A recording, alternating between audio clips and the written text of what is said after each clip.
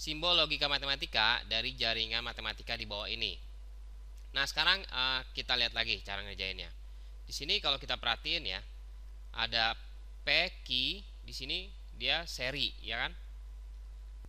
Nah, selanjutnya dia diparalelin dengan R dan diparalel juga dengan negasi P. Ini adalah satu bagian ini, satu grup ini ya. Ini satu grup. Nah, kita kita tulis nih dia dalam satu kurung karena dia satu grup ya. Itu sudah gitu yang ini juga sebenarnya satu grup juga.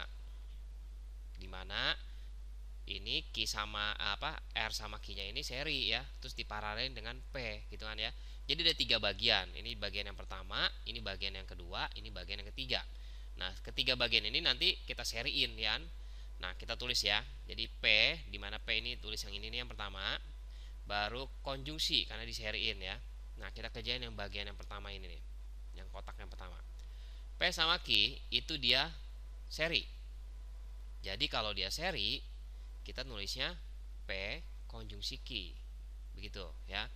Nah, setelah P sama uh, Q ini diseriin, baru kita paralel. Paralel kan disjungsi ya.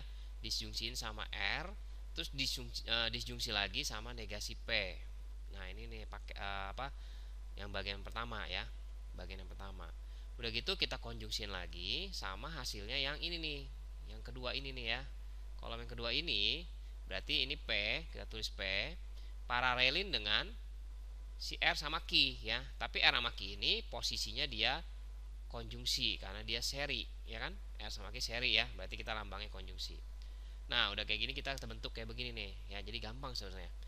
Nah kita pilih soal ABCD nya ternyata yang mirip yang sama ini yang A.